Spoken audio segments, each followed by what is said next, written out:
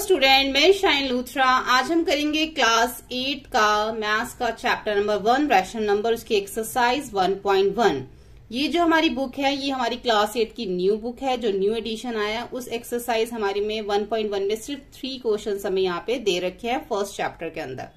तो first question है name the property under multiplication use in each of the following अब यहाँ पर हमें जो ये दे रखी हैं, जो हमें यहाँ पे रैशनल नंबर्स दे रखे हैं, जो मल्टीप्लीकेशन दे रखी है यहाँ पे, ये कौन सी प्रॉपर्टी है हमें बतानी name the property under multiplication ये कौन सी प्रॉपर्टीज़ जो है इसमें लगी हुई हैं, वो हमें इसके अंदर बताना है, ठीक है? तो फ़र्स्ट देखो minus four upon five into one equal one into minus four upon five equal minus four upon five अब यहाँ पे हमारी कौन सी प्रॉपर्टी है?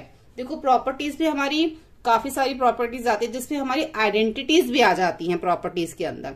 अब यहाँ पे एक चीज़ देखो, अगर हम माइनस फोर अपॉन फाइव को हम मल्टीप्लाई करें वन से, तब भी हमारा यही आंसर आएगा। अगर हम वन को माइनस फोर अपॉन फाइव से मल्टीप्लाई करें, तब भी हमारा सेम यही आंसर आएगा।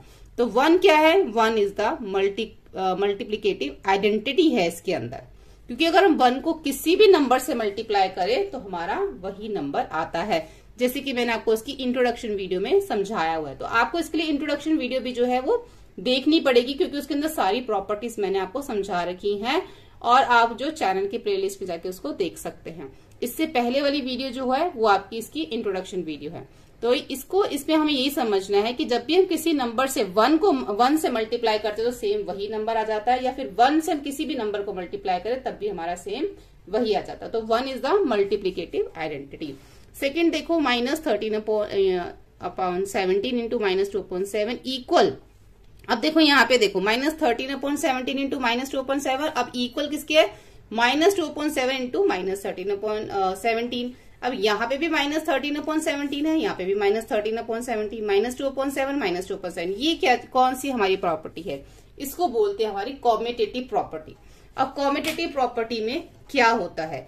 कॉमेटेटिव प्रॉपर्टी में हमारा ये होता है, देखो अगर मैं फाइव प्लस थ्री करूँ या फिर थ्री प्लस फाइव करूँ तो दोनों में आंसर क्या आएगा हमारा? एट ही आता है। ठीक है?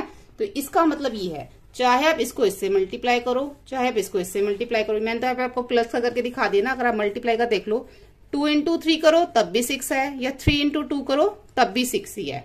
ठीक है? तो ये हमारी आ जाती है कॉमेटेटिव प्रॉपर्टी के अंदर। उसके बाद थर्ड देखो, ये है हमारी मल्टीप्लीकेटिव इनवर्स अब मल्टीप्लीकेटिव इनवर्स क्या है? Minus nineteen upon twenty nine को जब हम रेसिप्रोकल करते हैं, कोई भी अगर यहाँ पे रैशनल नंबर दे रखा है, जब हम उसको मल्टीप्लाई करते हैं उसके रेसिप्रोकल से तो हमेशा क्या आता है? वन ही आता है। अब आप इसको कट करोगे तो नाइन माइनस नाइनटीन को माइनस नाइनटी से तो वन आएगा ट्वेंटी नाइन को ट्वेंटी नाइन से करोगे, तब भी हमारा वन ही आएगा। ठीक है? तो इसलिए जब भी हम सेम नंबर से, उसको सेम नंबर से तो नहीं, लेकिन उसको मल्टीप्लीकेटिव इनवर्स से जब हम करते हैं उसको मल्टीप्लाई तो हमारा क्या आता है? हमेशा वन आता है, जब उसका रेसिप्रोकल अब minus nineteen upon twenty nine का मल्टीप्लीकेटिव इनवर्स क्या हो गया? Twenty nine upon minus nineteen तो हमारा आंसर क्या आएगा? वन ही आएगा। ठीक है? समझ में आ गई? मल्टीप्लीकेटिव इनवर्स मतलब जब इसका रेसिप्रोकल हो गया। यहाँ पे कोई भी रेशनल नंबर हो सकता है। जब उसके हम उसके रेसिप्रोकल से मल्टीप्लाई करेंगे तो हमेशा वन ही आएगा, जिसको हम बोलते हैं मल्टीप्लीकेटिव इनवर्स तो ये हो गया हमारा question number one question number two में हमें बोला गया tell what property allow you to compute one upon three into bracket में हमें दे रखा है एज देखो, अब यहाँ पर हमारी जो प्रॉपर्टी है वो कौन सी लग रही है?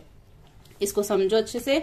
अब यहाँ पे दे रखा है one upon three into bracket में six into four upon three as one upon three into six फिर हमारा ब्रैकेट में फोर अपॉन थ्री अब यहाँ पे देखो हमारे पास तीन नंबर जैसे दे रखे ए बी और सी ठीक है, तीन दे रखे हैं।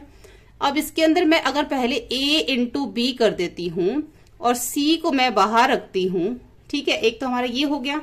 दूसरा, अगर मैं यहाँ पे ए को बाहर रखती हूँ और बी इंटू सी कर देती हूँ, ठीक है, इसमें क्या हुआ? एक बार हमने सी को बाहर रख दिया ए और बी को अंदर रख दिया। इसमें क्या हुआ? एक बार हमने इसमें ए को बाहर रख के बी और सी को अंदर रख दिया सेम इसी तरीके से यहाँ पर हुआ है।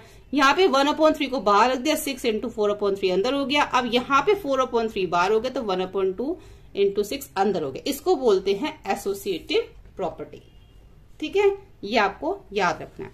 क्वेश्चन नंबर थर्ड देखो। The product of the two rational numbers is always जब भी हम दो रैशनल नंबर को आपस में प्रोडक्ट मतलब मल्टीप्लाई जब भी हम दो रैशनल नंबर्स को आपस में मल्टीप्लाई करते हैं तो आंसर हमेशा हमारा रैशनल नंबर ही आता है।